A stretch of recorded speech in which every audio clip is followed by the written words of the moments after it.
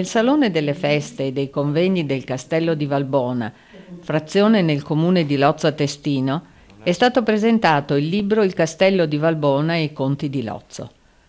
Puccio Lacagnina, direttore del castello, ha aperto l'incontro ricordando al numeroso pubblico intervenuto le diverse occasioni in cui Don Antonio Bellamio aveva manifestato interesse per il fortilizio, interesse che lasciava intendere il suo proposito di ricercare maggiori informazioni di quelle normalmente disponibili sulla storia e sulle vicende accadute al castello e nel territorio circostante.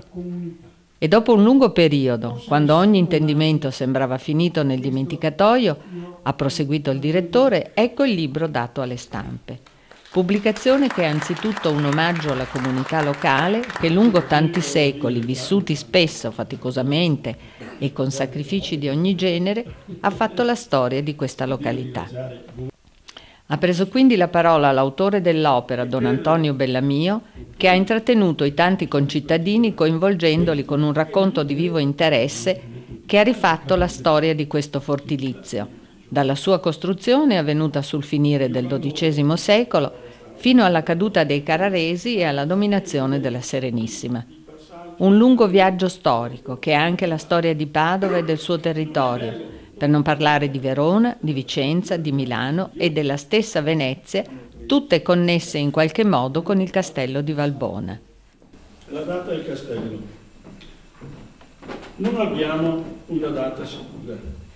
Narrazione integrata da episodi d'armi, da vicende umane e da figure di uomini di potere che ha conferito all'esposizione di Don Antonio una dimensione di grande realismo, forse anche per la suggestione creata dall'ambiente in cui si è svolta la serata. Il rosso viene distrutto e rimane invece qua, fortizio di Falcone. Buonasera a tutti, dopo una ampia eh, panoramica eh, che ha fatto Don Antonio penso che eh, sia veramente importante capire quanta storia è passata per di qua e per il nostro territorio. L'intervento conclusivo è stato fatto dal sindaco, l'architetto Luca Ruffin, che ha illustrato le caratteristiche tecniche del fortilizio e delle modifiche che hanno operato cambiamenti nella sua struttura, portandolo all'aspetto attuale. L'architetto Ruffin ha anche descritto il sistema difensivo attuato nella cintura dei Colli Ugani nel periodo medievale. La cortina partiva da Castelbaldo e attraverso 62 fortificazioni, che potevano essere torri, vedette, fortilizie o castelli, allertava tutto il territorio e Padova abbiamo iniziato con uno storico parroco, abbiamo finito con uno storico sindaco. tutto bene, quello che finisce bene. Vi ringrazio e sosteniamo il castello. Eh,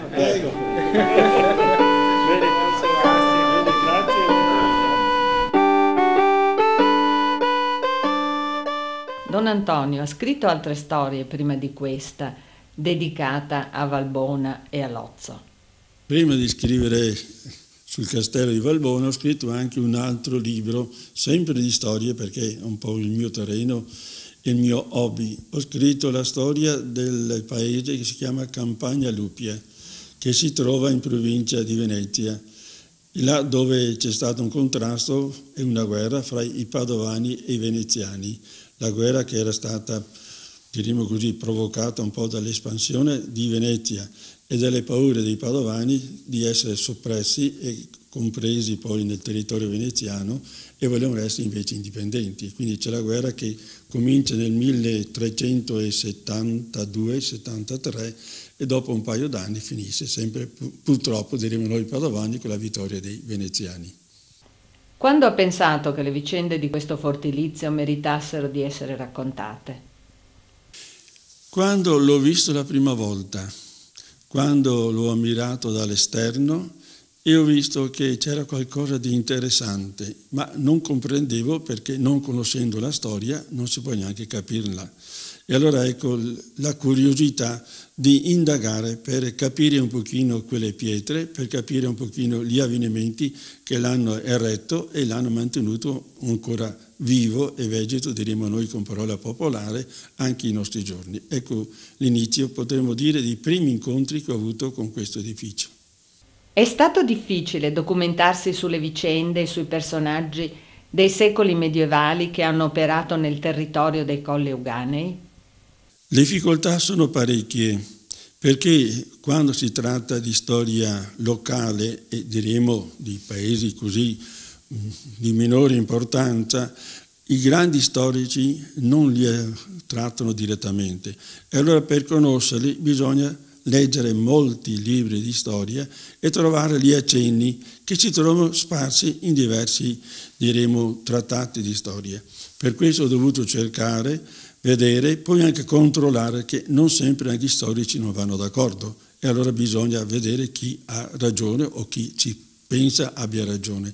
Per cui è un lavoro molto lungo, molto laborioso, molto impegnativo e diremo che si può fare quando c'è tempo a disposizione e soprattutto passione, perché se non c'è passione forse queste cose difficilmente si portano a porto. Quale periodo nella storia del castello e della contrada ha suscitato maggiormente il suo interesse?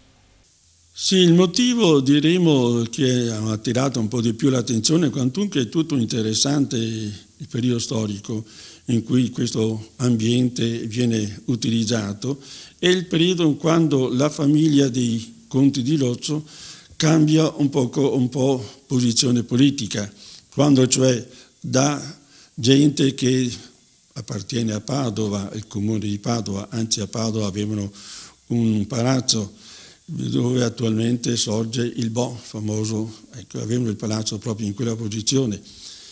Però per motivi politici, per interessi diremo politici, un dato momento ecco, eh, hanno pensato di cambiare bandiera e invece di stare con i padovani si sono messi con i veronesi, cioè con i, dalla Scala, in modo particolare con Can Grande della Scala. E quindi vediamo anche la sorpresa, è interessante proprio, dei padovani quando uno dei loro più importanti comandanti perché siamo in un tempo un po' di guerra, ecco, passa all'avversario e quindi eh, l'attenzione come volgere quella situazione scabrosa o essere violenti, cioè correre subito con i soldati, oppure usare un po' di diplomazia e si vede come il comune di Padova si interroga su questa situazione un po' scabrosa. Perché costruire una rocca difensiva su queste terre un tempo scarsamente abitate, paludose e lontane dai centri del potere e della politica come Padova, Este e Vicenza. Inoltre a Lozzo, dall'altra parte del monte, c'era già un castello. A Lozzo era il vero castello, il castello dei conti di Lozzo poi sono stati chiamati, cioè dei signori maltraversi, i quali hanno voluto consolidare loro, il loro potere e di fatti non hanno costruito il castello sopra il monte come di solito si faceva sui colli ugani, ma invece ai piedi, perché ai piedi dei monti c'era la palude ed era una sicurezza più grande che non sopra un monte stesso. Così hanno fatto per il castello vero e proprio di Lozzo e hanno costruito un fortilizio, cioè un ambiente adatto per i soldati, per la truppa, all'altra parte, all'opposto del castello di Lozzo, con anche l'attenzione che ponendolo in, questa, in questo luogo si faceva anche un po' di attenzione su quello che passava accanto, e cioè oltre la collina di, di Rosso c'è la strada che va a Vicenza e quindi da quella posizione si poteva anche controllare e dominare chi passava per quella strada. Il motivo poi della palude era appunto una maggior sicurezza e maggior difesa che in altri posti. La storia dell'età medievale è imperniata principalmente su figure maschili, ma ci sono state anche donne che hanno avuto ruoli significativi in quei secoli, e non solo sotto il profilo religioso. Nelle ricerche da lei compiute sono emerse figure femminili che andrebbero ricordate per le loro buone qualità, a conferma del detto popolare che dietro un grande uomo c'è spesso una grande donna? Sì, di la verità il proverbio ha molta, molta realtà. Spesso gli uomini ecco, sono aiutati dalle donne, qualche volta potremmo dire anche rovinati, ma nel caso nostro vediamo che hanno avuto questi personaggi per donne veramente degne della loro posizione e quindi ecco abbiamo eh, Adelasia che è la moglie di Uccione, conte di Lozzo, Ugo. Abbiamo anche un'altra donna, Costanza, che è moglie di Guido, la quale si trova sepolta, almeno c'è una lapide che la ricorda nel chiostro del santo. E poi questa mh, Adelmata, che viene mh, quasi glorificata dagli scrittori quasi del suo tempo, come una donna straordinaria, come capacità intellettuale, come sentimento, come fede e come anche senso di carità cristiana, che sa aiutare tutti indistintamente, sia le persone distinte, cioè che dominavano nella situazione di allora, nella società di allora, sia anche la povera gente, ma non solo con consigli che spesso dava a tutti, ma anche con mezzi veri e propri. Si privava di qualcosa di se stessa per aiutare il proprio prossimo. È una donna veramente che merita essere considerata. Quale ruolo aveva la donna nella famiglia del signore fedatario e in quella del Volgo? In pubblico era sempre in, in secondo ordine, in privato invece era la donna che quasi dominava, cioè la donna che dava l'indirizzo alla famiglia, è la donna che dava l'educazione ai propri figli, è la donna che manteneva salda la fede nella famiglia stessa, è la donna che dava un indirizzo che molte volte forse il marito, preso da tante altre preoccupazioni, non riusciva a dare. E su questo possiamo dire le donne del Medioevo, e ne abbiamo diverse, non solo queste ricordate nel libro, ma anche altre che ho trovato così nelle indagini, meritano veramente considerazione e talvolta potrebbero essere anche adesso modelli di vita cristiana e di vita civile. Sempre la donna ha una posizione, diremo così, educativa della famiglia è la persona che più forma i figli. Lo vediamo continuamente anche nella povera gente, anzi spesso nella povera gente è la madre che dà una mano al marito, sia anche nei lavori di fatica, eccetera, ma anche, soprattutto, educa i figli ai quei grandi valori per cui poi abbiamo le grandi persone che vengono fuori spesso anche dalla gente più comune. Le controversie tra potenti comportano sempre patimenti e sofferenze, soprattutto per la povera gente, come emerge dal suo libro. Cambierà mai questa tendenza alla violenza e alla sopraffazione dei più deboli, nonostante i molteplici esempi di bontà e di altruismo offerti da tante sante vite lungo la storia dell'uomo? Io spero che in questo campo ci sia un miglioramento e osservando la storia, a me sembra che ci sia un po' di miglioramento, che cioè che la parte più pesante è sempre la povera gente che la sopporta. Però se confrontiamo l'attuale situazione nel mondo e quella di allora, vediamo che forse qualcosa meglio va adesso.